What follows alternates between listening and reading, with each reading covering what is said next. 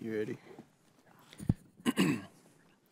The Committee on Oversight and Accountability will come to order, and I want to welcome everyone. Without objection, the chair may declare a recess at any time. I now recognize myself for the purpose of making an opening statement. Madam Secretary, I want to thank you uh, for being here today before the, the committee. Our oversight hearings have examined a range of topics, including energy efficiency standards, critical minerals, nuclear energy, and the administration's ban on liquefied natural gas export permits to non-free trade agreement countries. Today, we are joined by the Honorable Jennifer Granholm, who was sworn into office on February 25, 2021, as the Secretary of the U.S. Department of Energy. Pursuant to Committee Rule 9G, the witness will please stand and raise her right hand. Do you solemnly swear or affirm that the testimony that you are about to give is the truth, the whole truth, and nothing but the truth, so help you God? Let the record show that the witness answered in the affirmative, and thank you. Great. Thank you so much, uh, Chairman Comer, Ranking Member Raskin, and members of the committee. I'm so proud to be here representing more than 100,000 talented, hardworking public servants who make up the Department of Energy. Chair now recognizes Mr. Burchett from Tennessee. Thank you, Mr. Chairman. What is the responsibility of the Federal Protective Services within the, the Nuclear Security Administration?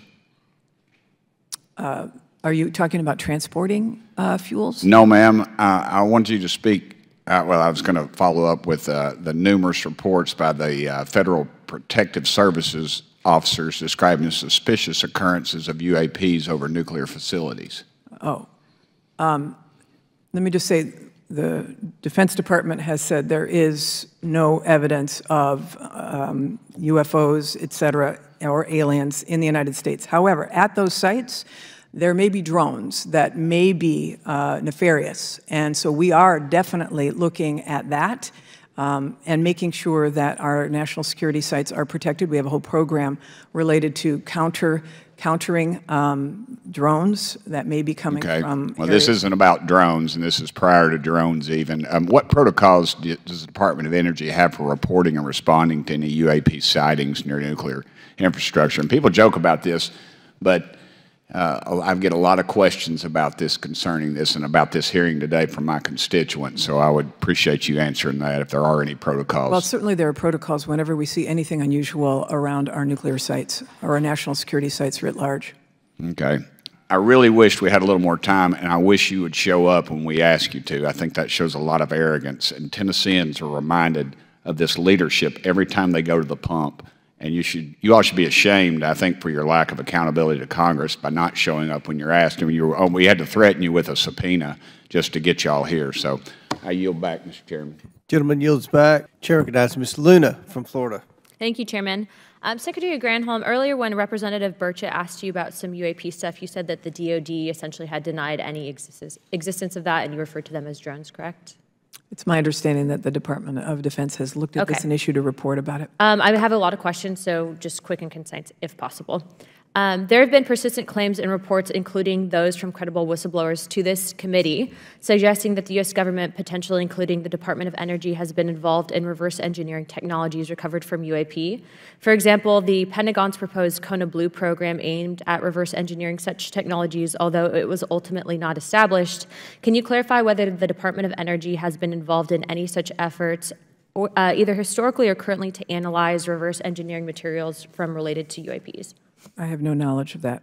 Okay, um, there are several reports indicated frequent drone incursions over DOE nuclear facilities, including an incident on April 1st, 2021 at Lawrence Livermore National Laboratory, um, also known as LLNL. Can you detail the DOE's current secretary, um, security measures to prevent unauthorized drone activities or UAPs and what steps are being taken to enhance these measures of frequencies of incidences? Yeah, we have a, we have a whole counter drone uh, effort to make sure that all of our national security sites and our labs are protected from uh, incursions from, from um, uh, drones, I'll just say, that are not authorized. So there's a whole series of protocols, uh, probably not uh, ripe for discussion in this public setting.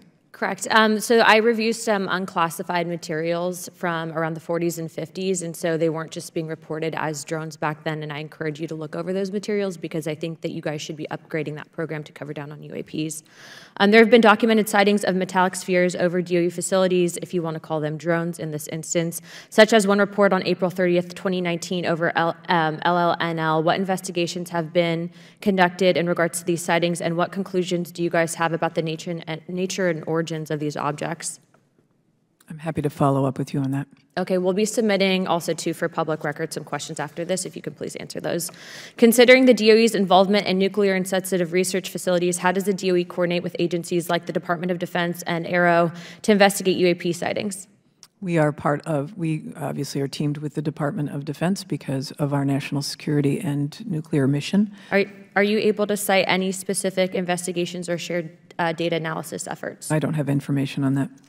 Okay. Um, as of right now, again, we'll be submitting some questions for you after this, but I hope that you guys can answer those in a timely fashion. And again, for those that might be tuning into this, I would encourage you to look at some of those unclassified materials, and we'll be happy to provide your office with that.